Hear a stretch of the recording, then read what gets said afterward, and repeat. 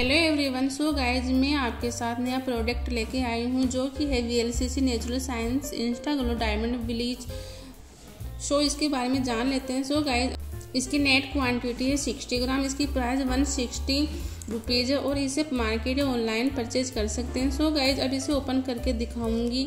आपके साथ step by step bleach करके दिखाऊँगी। अगर आप हर स्टेप को फॉलो करोगे तो आपके फेस के हेयर गोल्ड भी हो जाएँगे और अच्छा ग्लो भी आ जाएगा। तो गाइस देख लेते हैं यहाँ पर हम इसमें ये एक ब्लीच क्रीम का कंटेनर दिया गया है, जो कि फोर्टी ग्राम का। नेक्स्ट ये हमें पोस्ट ब्लीच क्रीम मिल जाती है, जिसे ब्लीच करने के बाद अप्लाई किया जाता है मास्क की तरह। नेक्स्ट सो गाइज़ ये प्री ब्लीच क्रीम है, जिसे हम ब्लीच करने से पहले अपने फेस पे अप्लाई करते हैं, इसे अच्छे से मसाज करते हैं। नेक्स्ट है, ये पाउडर एक्टिवेटर दिया गया है हमें। दो एक्टिवेटर पाउडर मिल जाते हैं हमें यहाँ पर। साथ ही ये हमें दिया गया है। इसमें ये सब निर्देश किया गया है। Step by step. गाइस जब भी आप ब्लीच करें तो इससे पहले अच्छे से हमें फट लेना है।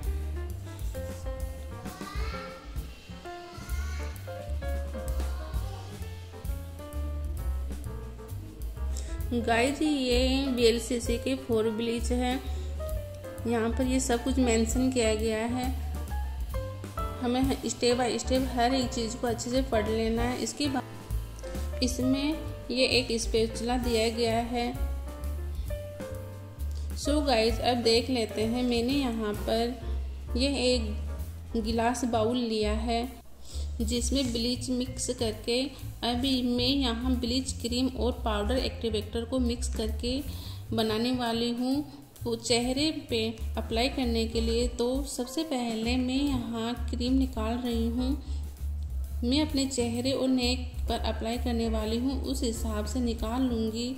आप अपनी नीड के हिसाब से क्रीम ले सकते हैं। अब इसको अच्छे से बंद कर देंगे। यहाँ मैंने बंद कर दिया है। इसको अच्छे से नेक्स्ट अब इसमें हम पाउडर मिक्स कर लेंगे। गाइस हमें पाउडर की क्वांटिटी बहुत ही कम लेनी होती है।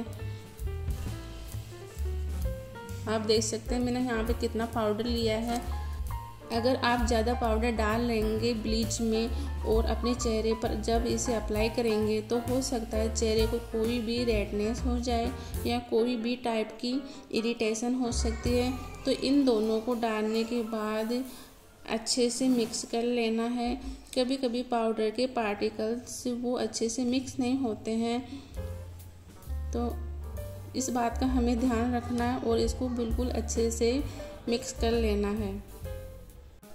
एंड में आपको एक बात बोलना चाहूँगी कि आप कोई भी प्रोडक्ट यूज़ करने से पहले उसका पेज ज़रूर ट्राई कर ले, जिससे कोई भी इरीटेशन ना हो तो इसे आप अप्लाई कर सकते हैं। सो so गाइज़ अब मैं यहाँ पे ब्लीच अप्लाई करने वाली हूँ। सबसे पहले अपने बालों को अच्छे से बाँध लूँगी। ब्लीच करने से पहले अपने चेहरे को वॉश कर ले। अब मैं यहाँ पे प्री ब्लीच ब्लीच यूज़ करने वाली हूँ। इसे मैंने अपने हाथ पे निकाल लिया। अब इसको मैं अपने फेस और नेक पे अप्लाई करूँगी। सर्कुलर मोशन में हाथ घुमाते हुए इसको अपने पूरे फेस पे अप्लाई कर लेना है। सो गाइज़ इसको अपनी आइज़ से दूर ही रखना है।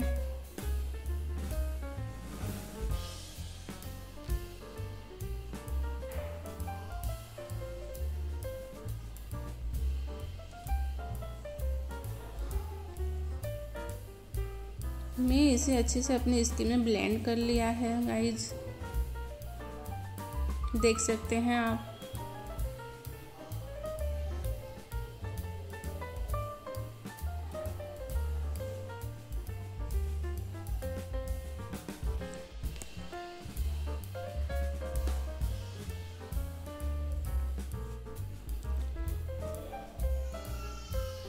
अब मैं लूँगी ये क्रीम।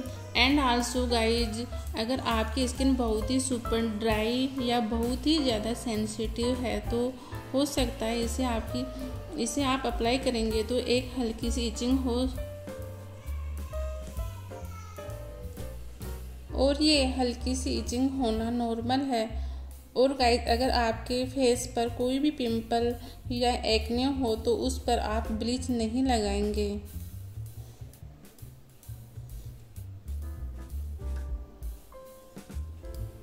गाइज़ हमें लिप्स और आईज के आसपास नहीं लगाना है, इसे और आईब्रो के आसपास भी नहीं लगाना है।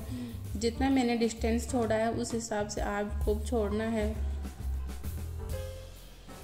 इस तरह से अपने पूरे फेस को ब्लीच से कवर कर लेना है।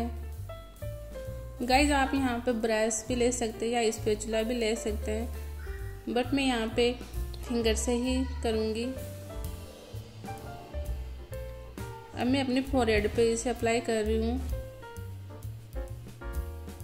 अपने बालों को दूर ही रखें ब्लीच से, नहीं तो वो ब्राउन हो सकते हैं।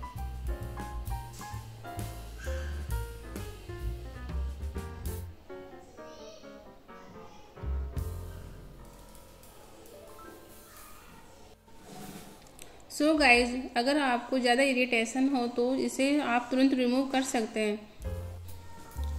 सो so गाइज़ अगर आपको ज़्यादा इरिटेशन हो रही है तो इसे आप तुरंत रिमूव कर सकते हैं। अब मैं अपनी पूरी नेक पे इसको अच्छे से अप्लाई कर लूँगी।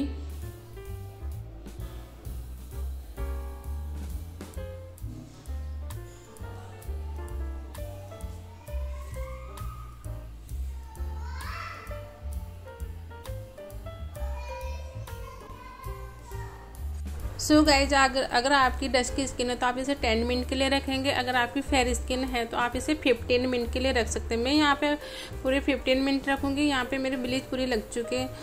अब मेरे पूरे फिफ्टीन मिनट पूरे हो चुके हैं। मैं इसे रिमूव कर लूँगी। गाइज़ आपको डायरेक्ट इसे वॉश नहीं करना है। किसी भी रुमाल या टिश्यू पेपर से इसे अच्छे से रिमूव कर लेना है। अब मैं यहाँ पे इसको बहुत ही हल्के हाथ से रिमूव रिमूव कर रही हूँ गाइज़ हमें अच्छे से पूरे फेस को क्लीन कर लेना है।